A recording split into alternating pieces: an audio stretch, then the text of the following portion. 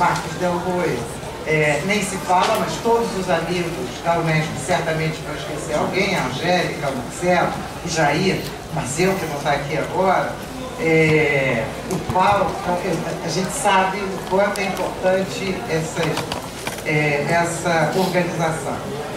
E, é, bom, eu vou começar logo para poder, não vai dar tempo mesmo, então vamos ao tema. Eu ia fazer uma apresentação, mas só sobre Gramsci, e mudei tudo hoje. Então vocês vão estar com alguma coisa que foi modificada hoje, mas porque eu achei que era mais interessante trazer a polêmica a partir do Gramsci do que unicamente sobre o Gramsci. Então vamos ver se a gente consegue casar um pouquinho essas duas coisas. É, quando a gente pensa capitalismo e pensa história, a gente precisa se, é, levar em conta que ele é, é, infelizmente, ou pode infelizmente ser representado como uma repetição permanente de uma fórmula expansiva. É, e essa fórmula expansiva pode ser expressa segundo o modelo né, clássico, é, fórmula do Marx, D, M, D', né, que é uma, é uma fórmula repetitiva, mas necessariamente expansiva, nunca volta ao mesmo ponto, tempo de percorrer sempre o mesmo processo, é, ou a gente poderia apresentar essa fórmula também de uma, de uma outra maneira, que é basicamente a mesma fórmula, pensar as condições sociais prévias, que são a expropriação, a produção massiva de trabalhadores expropriados, em paralelo com a concentração de capitais, num, de recursos sociais, é, a qual se segue é, a valorização do valor, ou o processo de extração de mais valor, seguida, de novo, processo de concentração barra expropriação ampliada e é, interrompido, eventualmente, por situações de crise. É, as duas maneiras de apresentar esse processo parecem se limitar a um processo econômico, a uma dinâmica unicamente econômica. Mas é, quando a gente é, tem um pouco mais de atenção para a discussão que está presente no Marx, a questão é, de fato, totalmente social. Portanto, essa relação que se expressa numa fórmula econômica é a expressão de um conjunto de relações sociais bastante complexa. E é, o aumento das proporções, né, é, a repetitividade ampliada desse processo, impõe modificações em níveis mais diversos da vida social. Eu estou falando de propósito nos termos do Marx, que é um pouco para a gente retomar essa ambiência, é, como, por exemplo, no processo de autonomização das formas do capital, é, na extensão das expropriações, é, tanto aquela que Marx acompanhou diretamente, que é a expropriação camponesa, quanto as expropriações que Marx não assistiu, que são as expropriações contemporâneas, e, portanto, próprio, na própria composição da classe trabalhadora, é, é, envolve é, essa, esse processo expansivo envolve saltos na escala da própria concentração, alterando né, a, a, estrutura de organização da dinâmica da extração de valor pelos no, novos formatos de composição orgânica do capital e envolve finalmente também a dimensão das crises dramaticamente, entretanto, é, isso assinala a importância de observar e não esquecer de que se trata da mesma forma social, que ainda que expansivamente, reitera obsessivamente seus próprios fundamentos, ou aquilo que é a sua fórmula fundante, é as condições de expropriação, extração de mais valor, é, concentração. A dificuldade de pensar o processo histórico de um já longo período capitalista envolve exatamente a exigência de refletir sobre as contradições sociais que a expansão compulsivamente repetitiva agudiza e de incorporar as transformações no solo social, que essas são dramaticamente reais, que essa irrefreável expansão da reprodução do capital necessariamente promove. Ainda que essa dinâmica precise voltar sempre para o seu monótono bordão, porém a cada dia com conteúdos mais dramáticos. Isso me parece que foi o grande desafio do Lenin, entender esse processo, ao mesmo tempo repetitivo e expansivo, quando ele pensa o imperialismo como uma etapa é, na qual o grau de concentração de capitais altera qualitativamente o próprio processo de reprodução geral do capitalismo, envolvendo não apenas os monopólios, envolvendo não apenas, novamente, uma questão diretamente econômica, ainda que o Lenin se queixe é, das, digamos, de não ter tido tempo de avançar muito para além da questão econômica, mas além da questão econômica, é, o, o Lenin procura abordar, naquele que é um opúsculo, já as relações entre é, os monopólios, é, aí a composição das burguesias dos diferentes países, a relação das classes dominantes com o Estado, a forma da organização da classe trabalhadora e as novas modificações impostas é, pela capacidade do imperialismo de é, capturar setores da classe trabalhadora, etc. A escala de concentração impunha transformações nas relações entre os próprios capitalistas, entre estes e o Estado, e também com os sindicatos, sempre sem é, reduzir o monopólio é, fundamento da extração de valor. Gramsci, embora seja um dos maiores pensadores exatamente dessas transformações no solo político, social e cultural do capitalismo, praticamente não trata de imperialismo. É, ele não sequer há alguma referência explícita, mais ou menos direta, ao texto do imperialismo nos cadernos. É, a, além disso, eu diria que eu não sou uma especialista em Gramsci, mas eu vivo, voltando a ele, eu vivo precisando dele, é, ele nutria uma profunda é, desconfiança, é, é mínimo você pode dizer, de que o imperialismo latente é, na Itália não poderia se converter em realidade. No entanto, sua reflexão sobre a complexa situação de países capitalistas subalternos europeus eh, que vivenciavam uma expansão das relações sociais capitalistas, inclusive do ponto de vista da organização do Estado, ao lado da permanência de formas de dependência, inclusive culturais e ideológicas, expressas também pela Revolução Passiva, pode ser extremamente estimulante para pensar a nossa atualidade e as condições eh, do capitalismo contemporâneo é, no caso, em especial, da emergência de novos países subalternos no cenário do que eu venho chamando de capital imperialismo. É, assim como para tentar abrir o debate sobre algumas das contradições é, que esse processo envolve. É, antes de entrar é, no trabalho mais sobre propriamente o capital imperialismo, eu queria retomar alguns aspectos é, que o Gramsci aponta, assinala é, porque inclusive esse deu título à minha comunicação. É, então, só assinalando alguns pontos e provavelmente o conjunto da minha intervenção vai ser mais pontuando esse tema. Em primeiro lugar, me parece que Gramsci entende a subalternidade periférica ou desses países é, retardatários de modo muito denso. Não é talvez muito explicitamente formulado ou muito longamente trabalhado, mas é muito nítida a crítica que ele faz à oposição simplista entre nação capitalista e nação proletária. Aliás, hoje de manhã, é, o Fábio Frosini apresentou isso de maneira bastante elegante, bastante clara. É, essa, essa crítica à suposição de uma nação é, proletária contraposta a uma nação capitalista parece distante para uma geração jovem mas esse debate é um debate que vai sustentar, inclusive, o fascismo. Então, portanto, é importantíssimo que isso seja é, retomado.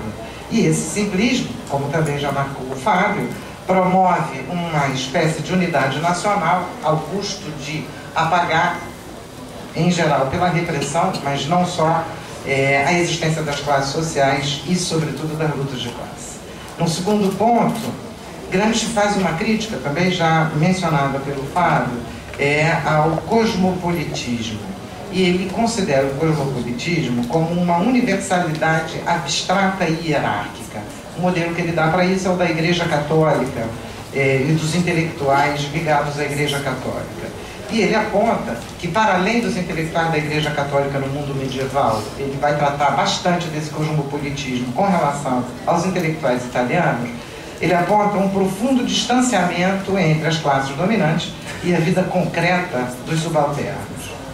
esse, entretanto, esse cosmopolitismo pode gerar o que eles chamam chauvinismo nacionalista. Porém, profundamente apatriótico e mesmo anacional. Então é interessante o uso desses termos é, no Gramsci. O anacional ele retoma de uma citação de outro autor, mas ele, ele utiliza o apatriótico umas duas ou três vezes, sempre nesse contexto.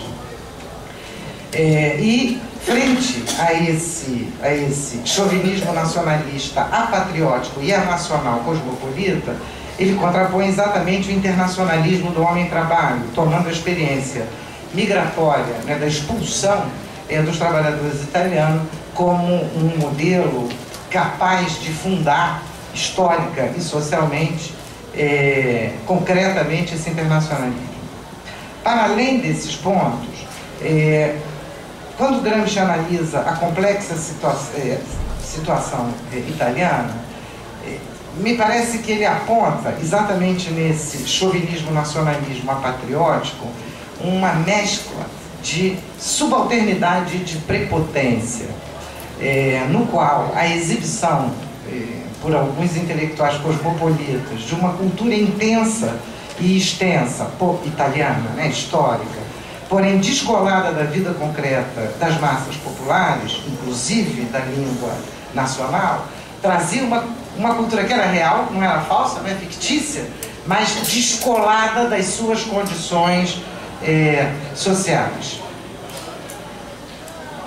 A, a, a, quarta, o quarto ponto é que, hoje já foi comentado ontem também, o foco central do Gramsci é, de certo, o Estado e a questão nacional.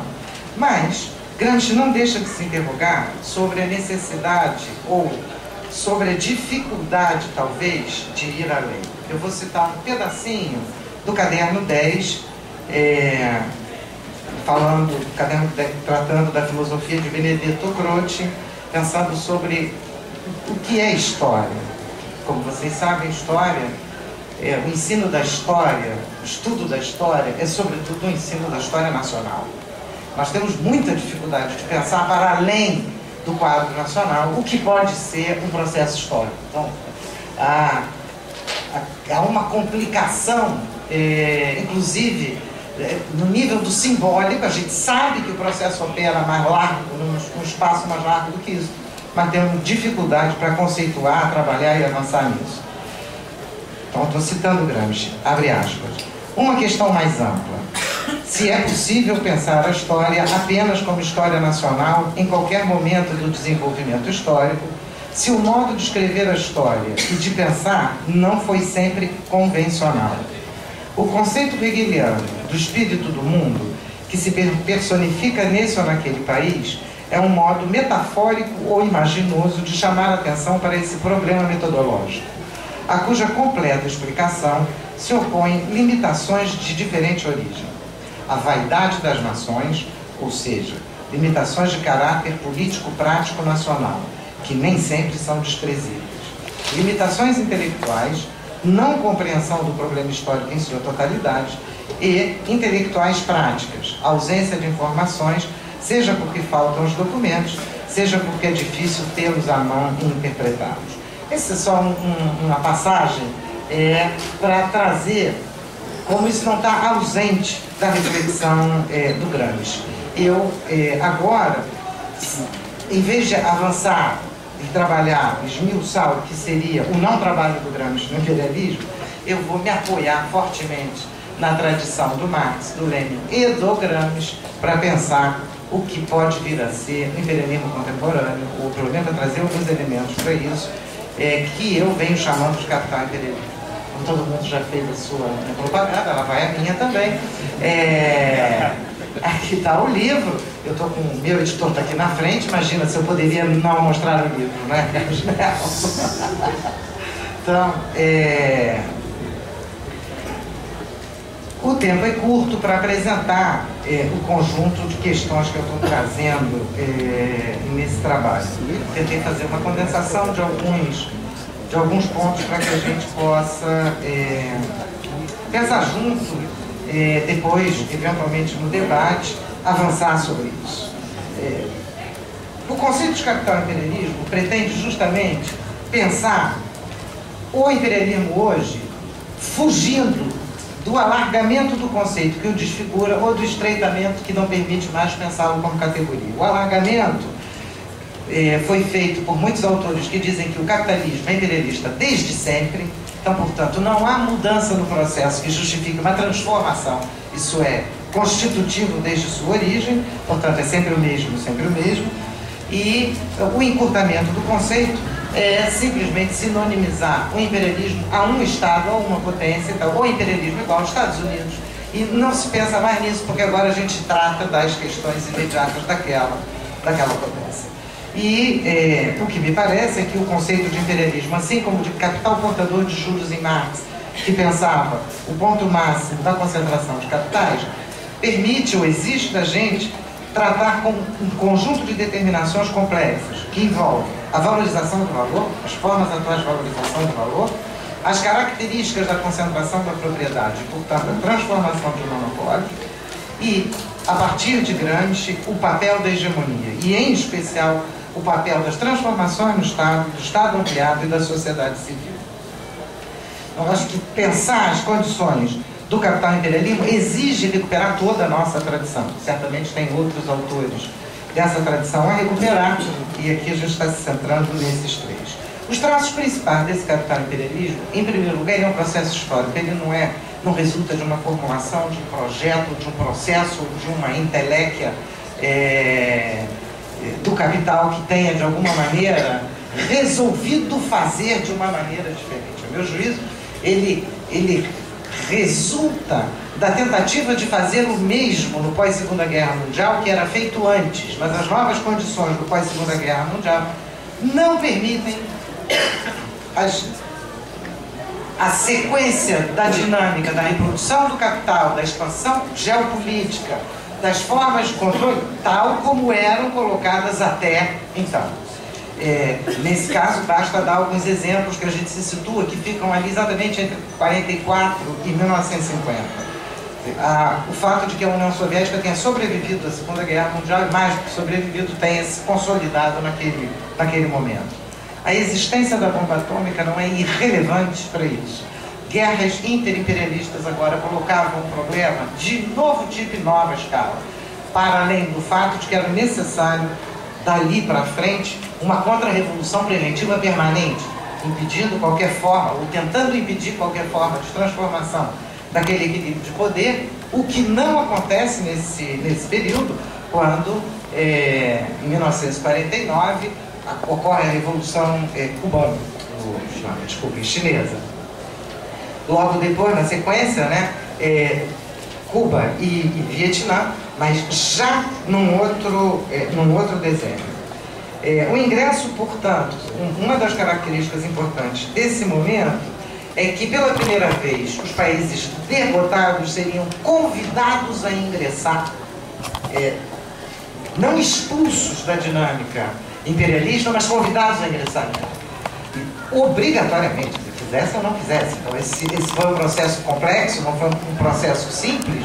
É, nos anos é, imediatamente do pós-guerra, mas dentre o ingresso desses novos retardatários derrotados militarmente, mas países nos quais o capitalismo já havia é, avançado no conjunto das relações sociais internas e na própria configuração do Estado, dentre eles a Itália, passariam agora, pouco a pouco, a integrar um grupo de países capital imperialistas é, não porque não tivessem mais contradições ou porque isso fosse um super imperialismo, mas porque naquelas condições eram, era a possibilidade da expansão da própria concentração é, de capitais. E essa expansão e concentração, doravante, portanto, tornar-se um país plenamente capitalista significava, doravante, uma concentração interna, espaço de extração de valor interno e externo.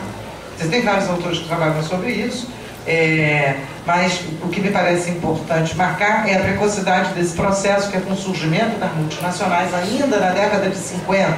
Porque muitas vezes a gente acha que a globalização é alguma coisa dos anos 80 ou 90. E como a gente descolou, né, a literatura em boa parte descolou globalização, mundialização de imperialismo, ou usou o imperialismo com os dois sentidos que eu, que eu mencionei, é, a gente perde um pouco essa, essa percepção de que já ali. Isso não significa que numa multinacional, que essas empresas não tenham sede nacional, não tenham um Estado que vão defender os interesses do capital, porém significa que esse entrecruzamento de capitais vai gerar novas contradições, vai gerar uma expansão para fora né, desses países de capitais também precisando se reproduzir, valorizar o valor para além daqueles limites que estão colocados é, ali.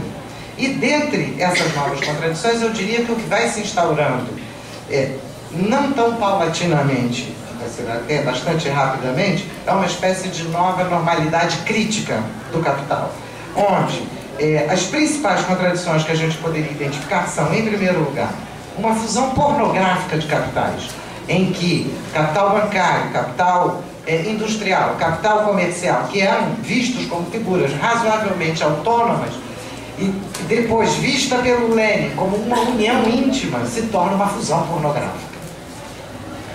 A propriedade se torna de tal modo concentrada que se torna difícil identificar para grupos de grandes proprietários qual é exatamente a centralidade na empresa a gente identifica, não na propriedade. A gente identifica a centralidade da atividade numa empresa. A própria estrutura da propriedade hoje parece se converter numa espécie de grande enigma, é, inclusive para alguns setores burgueses e para a imprensa é, econômica burguesa. A concentração da propriedade significa que não necessariamente essa propriedade superconcentrada detém de maneira imediata os meios de produção mas controla os recursos sociais capazes de fazer funcionar no meio de produção. Então nós estamos numa escala, que é uma escala já pensada pelo Marx, na verdade, mas não vivida por ele. Ele, ele, ele é capaz de mencionar isso. Inclusive o termo recursos sociais, concentração dos recursos sociais é dele. É, significa que se intensificam as expropriações primárias, expropriações da terra, que só é possível pensar num estado de bem-estar é, se, se esse termo se aplica, se a gente pensa em paralelo no extenso processo de expropriação social que está acontecendo no resto do mundo. Sem levar em consideração esse duplo movimento, o estado de bem-estar parece que flutua numa bolha é, de, de, alguns meritórios, não é? que não é o caso. Já está num processo histórico de luta, de expansão é, complexa, e é, essas expropriações primárias se intensificam, como é o caso é, no Brasil, mas também uma intensificação posterior de expropriações secundárias. O Harvey chama isso de acumulação por espoliação. Eu discordo da tese dele, porque ele supõe que isso seria um capitalismo um pouco anormal. A meu juízo, não tem capitalismo anormal. Ele é sempre algo anormal. A sua normalidade é exatamente essa. E, é, bom, depois, se for o caso, eu volto às expropriações secundárias, porque elas são dramáticas, estão incidindo hoje no mundo inteiro. E expropriação não é, não é a mesma coisa que apenas mercantilização. Expropriação é retirar da humanidade as condições de reproduzir sua condição de existência e torná-las, então, mercado. Portanto, é alguma coisa mais dramática e mais profunda do que estamos imaginando. Um terceiro ponto dessas novas contradições, a redução da democracia à representação eleitoral não estou utilizando nenhum autor de esquerda para dizer isso.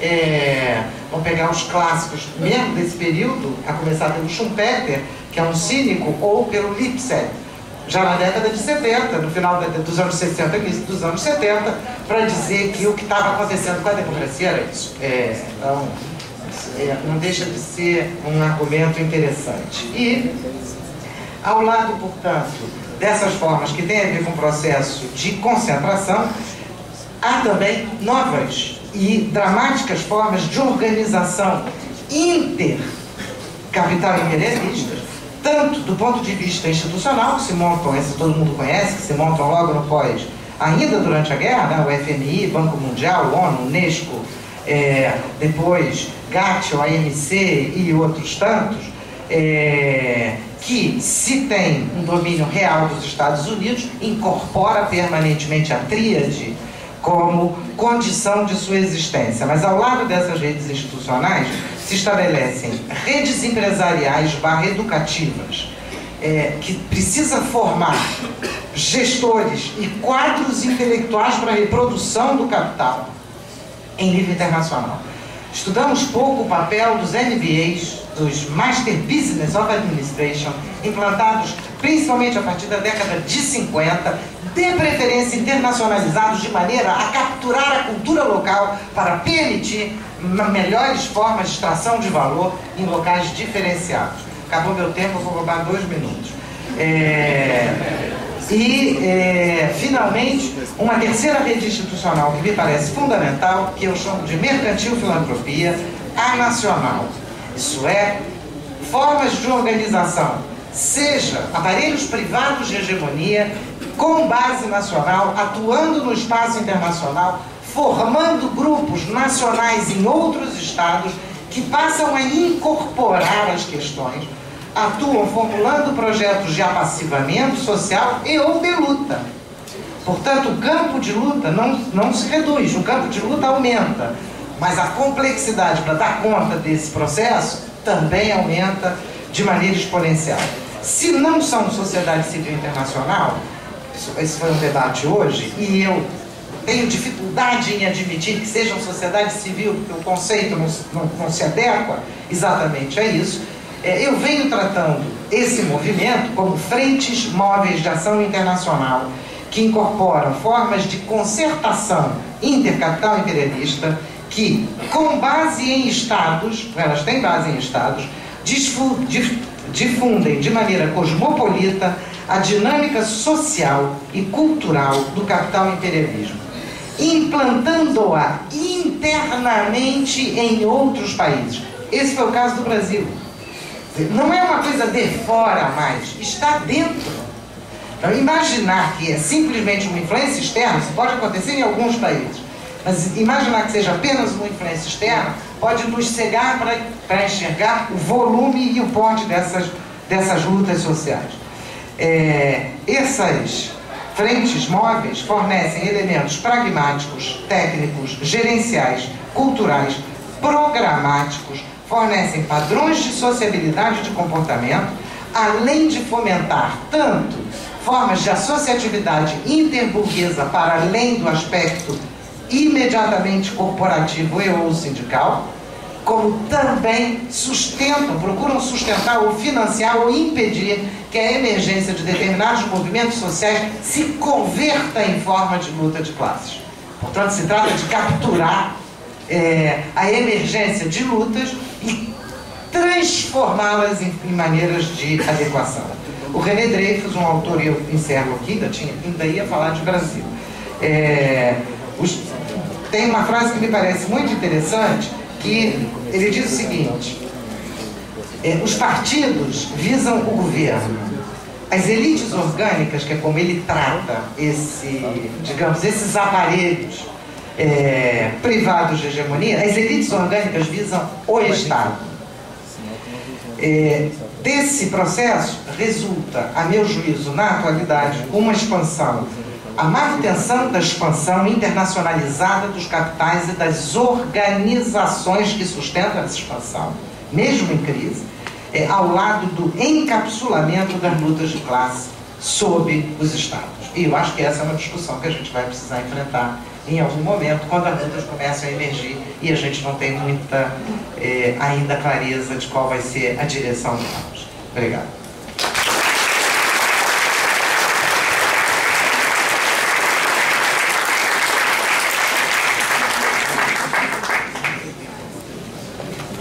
Obrigado à professora Virginia Fontes pela empolgante exposição Uh, lembramos que a sala 64 está aberta com transmissão simultânea, se alguém está em pé, se estiver interessado.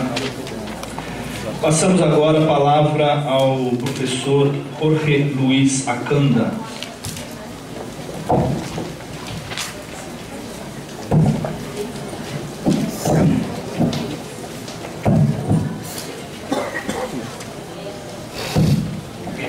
Noches.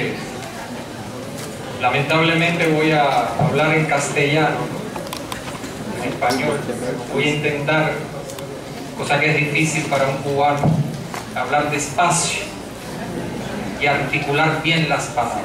Voy a intentar. Y quiero comenzar por articular mi agradecimiento a Marco y a los colegas que junto con Marco están organizando este evento, primero por invitarme y permitirme conocer una cosa que yo no sabía, que en el medio de Brasil existe una Marilia Vermelha.